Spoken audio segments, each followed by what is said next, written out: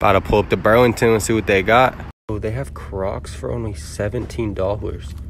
Got the checkered Balenciaga sock shoes. Ooh, they had these Blazer lows for $30. What? Blazer lows at Burlington? The Gucci here. Ooh. Nike Daybreaks. They got some Giannis's. Two pairs of Giannis's. Even got the smooth blue Adidas, slip-on Vans, and two Stan Smiths. Air Force Ones at Burlington Coat Factory for $50. That's a steal.